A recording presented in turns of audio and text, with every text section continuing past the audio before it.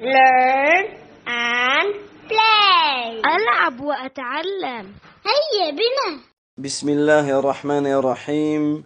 إن الحمد لله نحمده ونستعينه ونستغفره ونعوذ بالله من شرور أنفسنا ومن سيئات أعمالنا.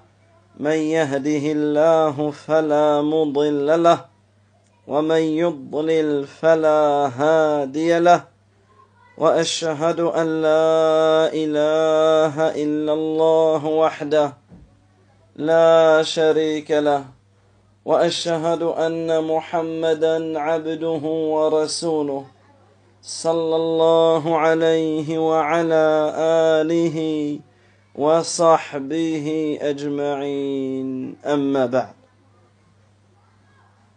J'espère que tous les enfants vont bien et je pense que la majorité d'entre vous, vous avez repris l'école aujourd'hui.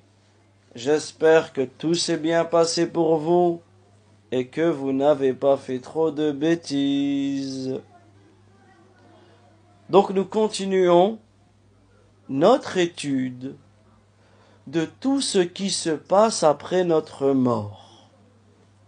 Et on a vu que tous ceux qui meurent, ils vont continuer à vivre une deuxième vie dans leur tombe.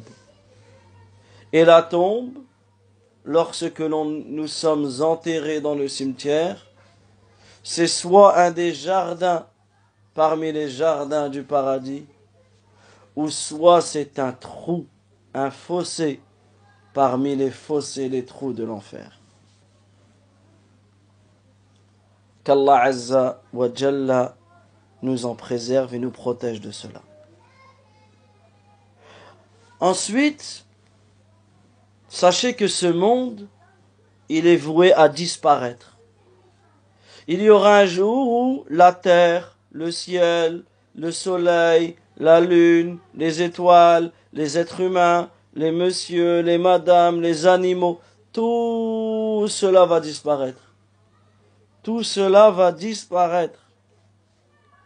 Et c'est pour cela qu'Allah tabaraka wa ta'ala, comme nous avions vu dans la croyance aux anges, c'est qu'Allah azza il a créé un ange qui s'appelle Israfil. Et cet ange, Allah tabaraka wa ta'ala, lui a ordonné de tenir une grande trompe. Une grande trompe, comme une grande corne. Et lorsqu'Allah Azza wa Jal va lui, va l'ordonner, va lui donner l'ordre de souffler, alors tout ce qui est sur la terre va être effrayé. Tout ce qui est sur la terre va être foudroyé. Donc il y aura un premier souffle. Comptez avec moi, en tout il y aura trois souffles. Le premier souffle,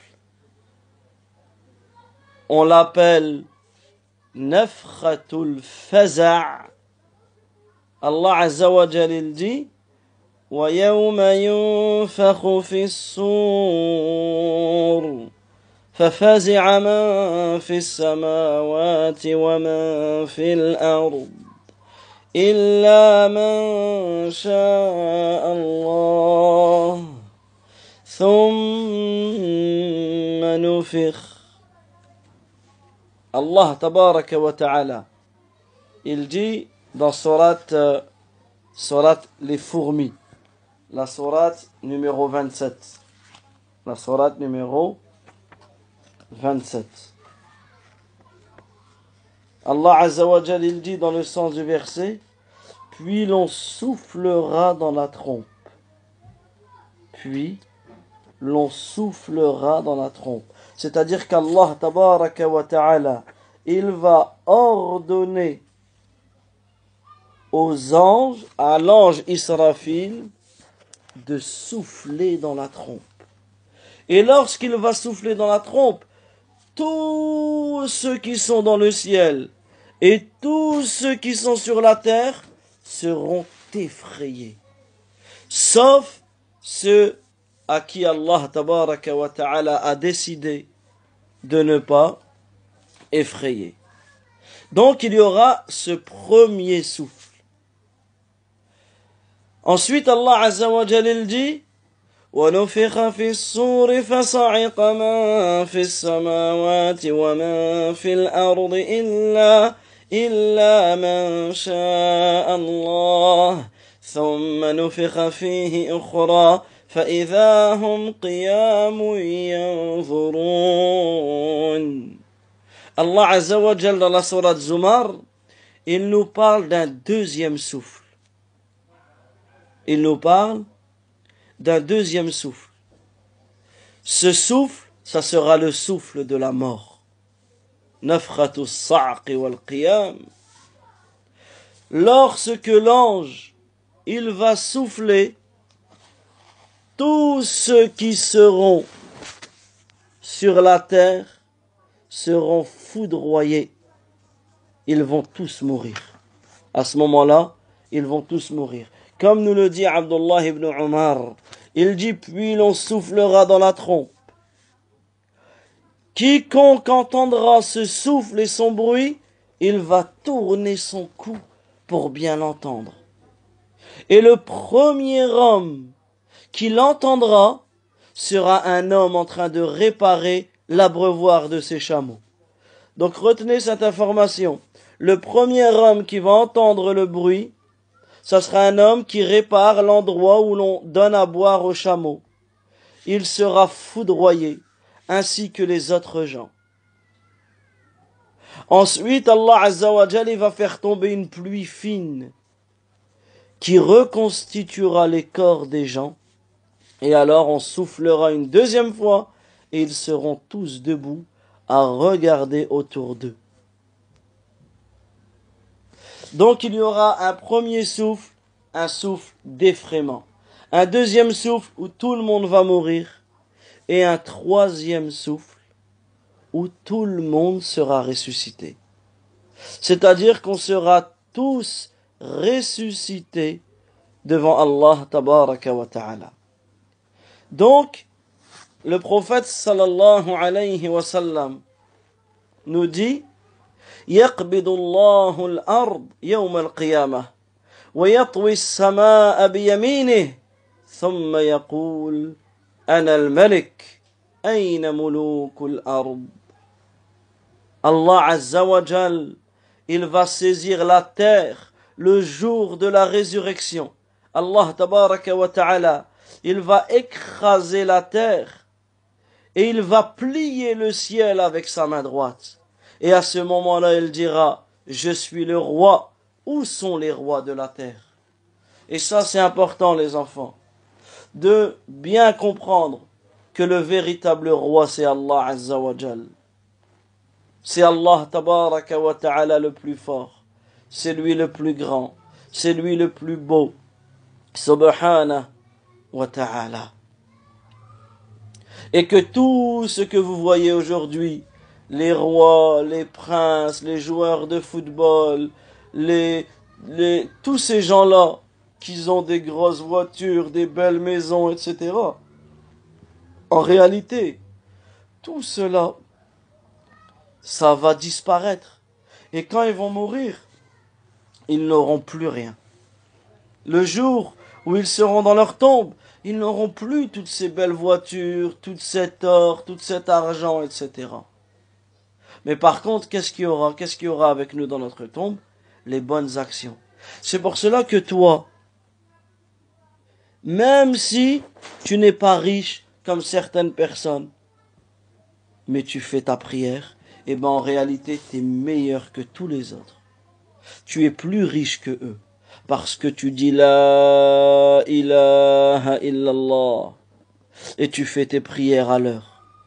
Et eh ben lorsque tu seras dans ta tombe, et eh ben tu seras content d'avoir fait tes prières à l'heure.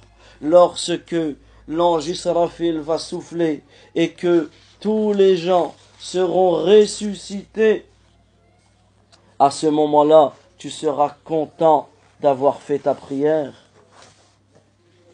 tu seras content d'avoir adoré Allah, tabaraka wa ta'ala.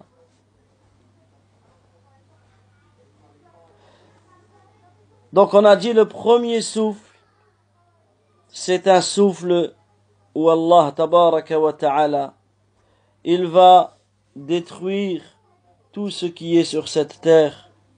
Tout le monde aura peur. Le deuxième souffle, Allah azza wa il va faire mourir tout le monde, sauf ceux qu'Allah azza wa a décidé, comme l'ange Jibril, l'ange Mikaïl, l'ange Israfil, l'ange de la mort, comme les femmes qui, les belles femmes qui habitent dans le paradis. Toutes ces personnes-là ne seront pas touchées par la mort, comme nous l'ont cité certains de nos grands savants. Et ensuite, il y a, euh, il y a un troisième souffle. Un souffle où lorsqu'Allah tabaraka wa ta'ala va ordonner, et Allah azza wa dit dans surat Yasin, ونفخ في السور فإذا هم من الأجداث إلى ربهم ينسلون Un troisième souffle, où à ce moment-là, tous ceux, tous ceux qui sont, tous ceux qui sont sur, dans, dans, dans les tombes, eh ben ils vont sortir de, le, de, de leur tombe. Et est-ce que vous savez comment ils vont sortir de leur tombe Eh ben ils vont sortir de leur tombe comme les plantes. Vous avez vu les plantes qui poussent de la terre. Allah Azza wa Jal, il dit dans Surat Al-A'raf, la surat numéro 7. فأنزلنا به الماء فأخرجنا به من كل الثمرات كذلك نخرج الموتى لعلكم تذكرون Nous en faisons, nous en faisons descendre l'eau. Ensuite, nous en faisons sortir toute espèce de fruits. Ainsi ferons-nous sortir les morts, peut-être vous rappellerez-vous. Vous avez vu lorsque vous plantez des graines, tu prends une petite graine et tu la plantes. Tu la plantes dans la terre. Ensuite, chaque jour, tu prends de l'eau et tu arroses cette graine. Qu'est-ce qui va pousser? Une plante. Boum Elle va sortir directement de la terre. Et bien lorsque tous les gens seront morts, eux aussi, lorsqu'Allah tabaraka wa ta'ala ordonnera à tous les gens de revivre, eh bien nous allons tous revivre. Et ça c'est important les enfants, de bien comprendre ça. Parce que vous savez qu'il y a des personnes qui disent que lorsque l'on meurt, eh ben on va se transformer en un animal. Si tu as été gentil, tu seras un animal gentil. Et si tu as été méchant, tu seras un animal méchant. Est-ce que c'est vrai ça? Ah non. Comme si. On n'est pas des animaux, nous. On va pas être ressuscité en petit cochon, ou en petit chat, ou en petit lapin, un lapin nain. Non. Ou certains disent c'est tout, quand on meurt, c'est tout, on devient des poussières et on n'existe plus. Mais enfin, c'est pas possible. Alors que le musulman, il sait qu'il a trois vies. Une vie ici sur terre que l'on vit ensemble, une vie dans la tombe, et on sera ressuscité, et on sera interrogé par Allah, tabaraka. Et on a dit la manière dont on sera ressuscité,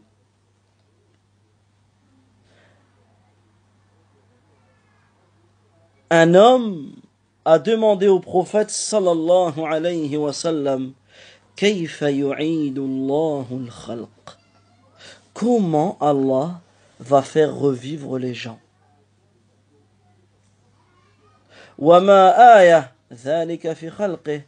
Et quel est le signe parmi ces créatures? Donc il lui a posé la question. Il lui a dit Comment Allah va faire revivre les gens? Et est-ce que tu peux me donner un exemple ici que je puisse voir? Alors le prophète Mohammed sallallahu alayhi wa sallam de lui dire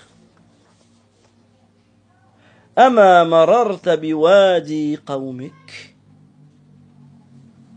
N'es-tu pas passé par la vallée de ta région Une vallée qui était aride parce que dans les pays chauds, quand il fait chaud, quand c'est l'été, eh ben les vallées où qu'il y a de l'eau, il n'y a plus d'eau. Comme il pleut pas beaucoup, il n'y a plus d'eau. Mais dès qu'Allah Azzawajal, il, leur, il donne de l'eau, qu'est-ce qui se passe? Lorsque la pluie descend, ben qu'est-ce qui se passe dans cette vallée? L'eau se forme, la vallée se forme à nouveau. Il dit, jamais, est-ce que tu es déjà passé par un endroit où des fois il n'y avait pas d'eau et des fois il y avait de l'eau et qu'est-ce que ça a fait cette eau? Ça a fait pousser toutes les plantes autour de cette vallée et ça a amené de la verdure. La verdure, c'est toutes les plantes, les arbres, parce que si il n'y a pas la pluie, les arbres ne poussent pas. Si on n'arrose pas les plantes, elles fanent. Donc il lui dit, est-ce que tu es déjà passé par un endroit où il n'y a plus d'eau? Il lui a dit oui. S'il n'y a plus d'eau, est-ce qu'il y a des plantes? Non. Et une fois qu'il y a de l'eau, les plantes poussent. Donc voilà le signe d'Allah, tabaraka wa ta'ala, sur terre, et cela nous prouve à quel point Allah tabaraka wa ta'ala est capable de toutes choses. Allah azza wa est capable de toutes choses.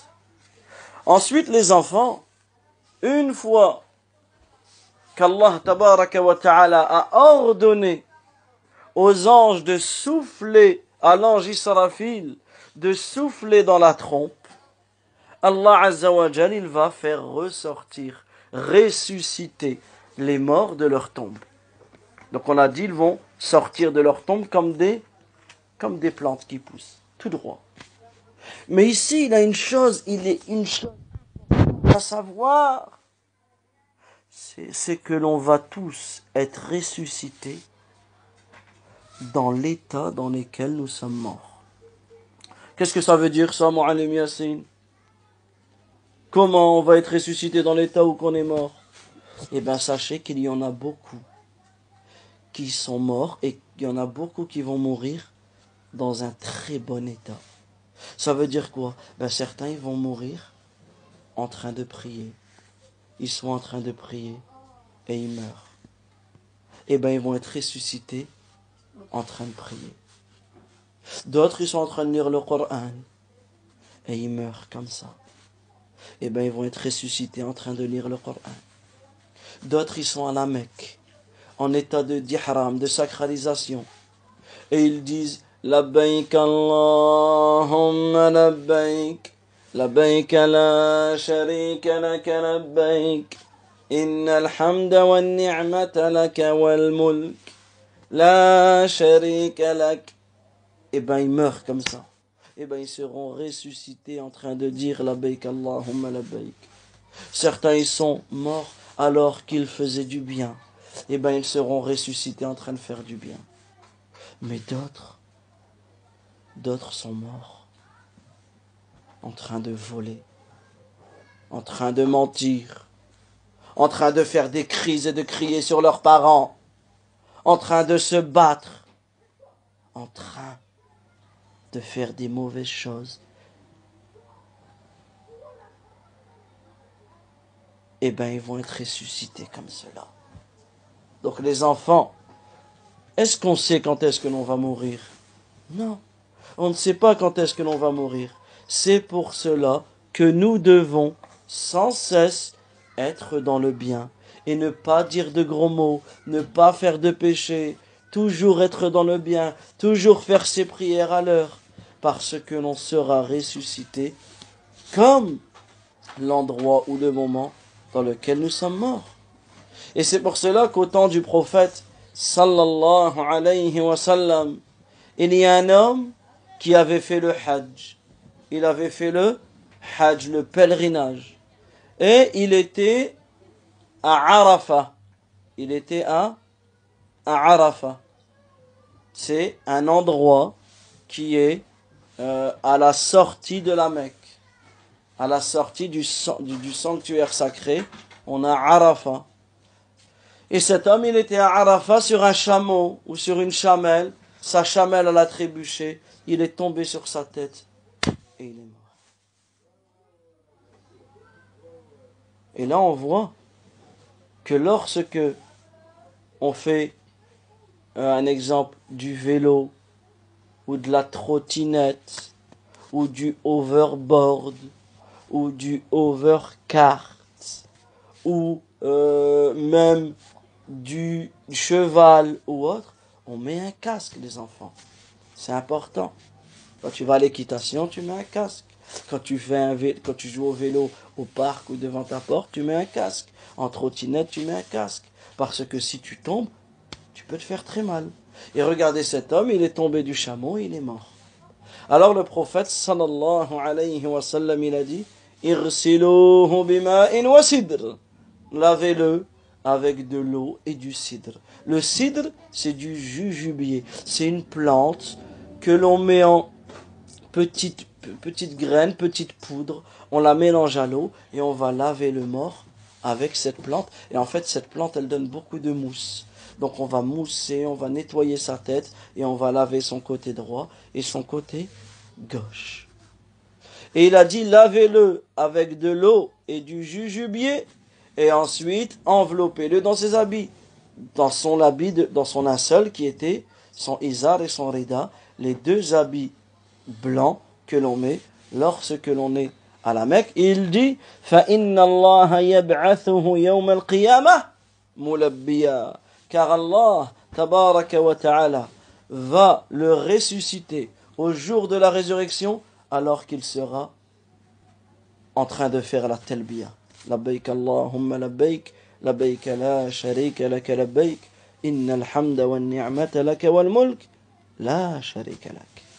D'accord les enfants Également, il y a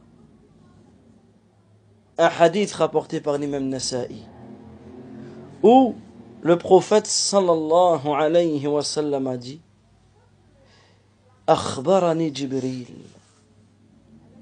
Akhbarani Jibril L'ange Jibril m'a informé. L'ange Jibril a appris quelque chose au prophète sallallahu alayhi wa sallam. Est-ce que vous savez c'est quoi? C'est que la chose la plus importante, le compagnon, celui qui va aider la personne à, sa mort et dans sa tombe, est-ce que vous savez c'est quoi? C'est la ilaha illallah. Répétez, la ilaha illallah. Et il est important, les enfants, que l'on s'accroche à cette parole. La ilaha illallah. Qu'on la répète tous les jours, parce qu'à chaque fois que tu vas la répéter, Allah Azza wa il va te donner un arbre, un palmier dans le paradis. Mais surtout, il est important qu'on comprenne cette parole. La ilaha, il n'y a aucune divinité qui mérite d'être adorée en vérité. Illallah, sauf Allah. Seul Allah Azza wa mérite d'être adoré. Seul Allah tabaraka wa mérite d'être adoré. Est-ce que je dois adorer des statues? Est-ce que je dois adorer des, des, des astres, des étoiles, le soleil ou la lune? Est-ce que je dois adorer des morts? Est-ce que je dois adorer des anges? Est-ce que je dois adorer des prophètes? Est-ce que je dois adorer des animaux? Non. Mais la seule divinité, le seul Dieu qui mérite d'être adoré, c'est qui? C'est Allah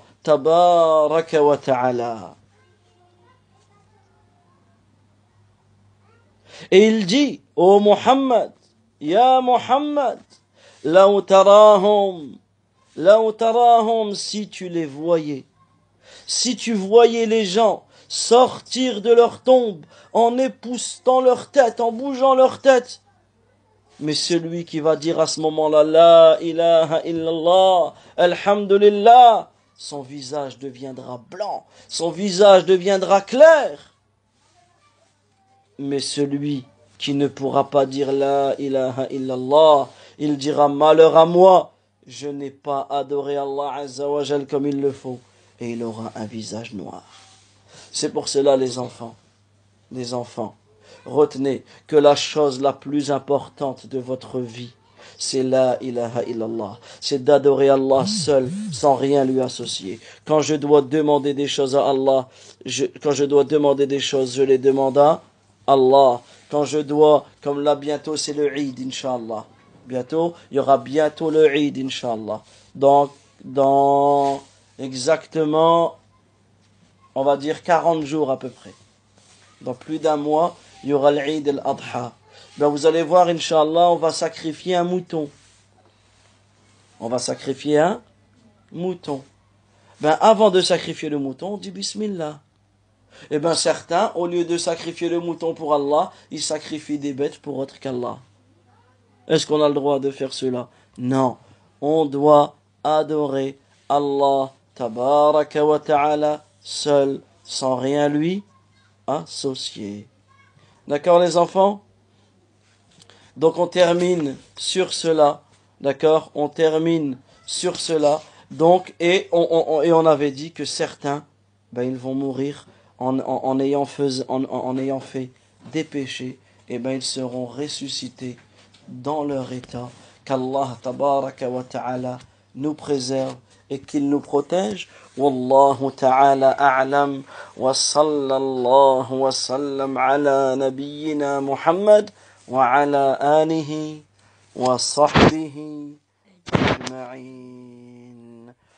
les enfants pour le cours d'aujourd'hui. Alors je voulais juste terminer par vous dire que nous sommes, euh, nous accueillons euh, un mois important.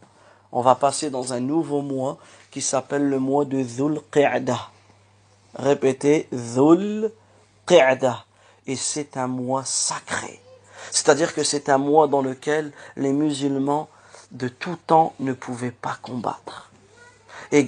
Également, c'est le mois où l'on se prépare pour le Hajj, où l'on se prépare pour le pèlerinage, mais malheureusement cette année, les musulmans, ils pourront faire le Hajj, mais seulement ceux qui sont déjà à la Mecque ou en Arabie Saoudite. Ceux qui, ceux qui ne sont pas, ils ne pourront pas partir d'ici, mais on va patienter et on va tous demander à Allah d'enlever cette maladie de la terre et on va demander à Allah que tous les musulmans qui devaient partir cette année et on demande à Allah que, tout, que même vos parents, s'ils ne sont jamais partis, ils pourront partir l'année prochaine au Hajj. Rabbana atina fid dunya hasana wa fil hasana wa qina azab nar Je vous dis assalamu alaykum wa rahmatullah wa barakatuh.